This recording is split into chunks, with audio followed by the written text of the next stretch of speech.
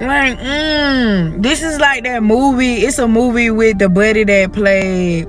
It's it's a movie that ASAP Rocky put out. Well, buddy was like getting molested, and he was adopted by this white man. This is supposed to be this man was being portrayed portraying to be his dad, but he really had another family on the other side of town, but had a house over here in the hood and pretending to be this boy's adopted uh, adopted father, but really having this boy suck his dick. I'm gonna have to tell y'all about that movie. That that shit was wild. And I, and I feel like that's a true story. He re- he wrote that about himself, his life, his life path and whatnot. But uh, and what happened in his life. But yeah, this is what it's giving with Marcus and Chris's situation. Because ooh, it says I feel like Marcus' dad is sold him to the highest bidder. Um, it wouldn't be surprised if Marcus' dad probably was touching him, but allegedly. But they said I'll get to him and Marcus later. The original management team knew about Chris, his shady past and business practices.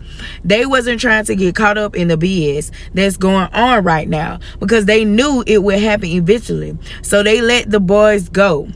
Omari's Omari's mom and her boyfriend at the time were slightly skeptical, especially the boyfriend. But his mom is really young.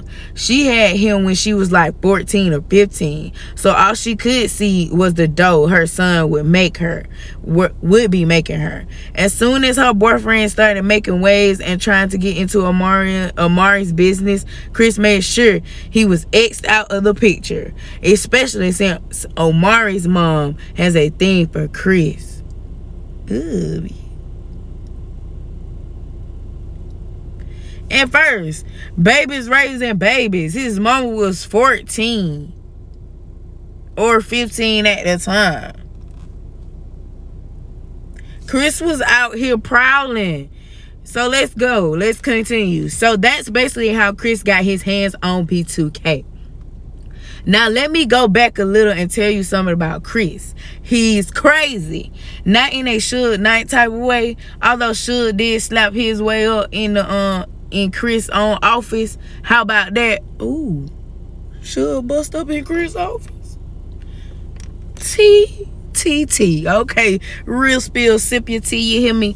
It said, how about that? But in a I have issues I need to work out in there sort of way. He is a David Koresh type of character. Before B2K came along, he was this way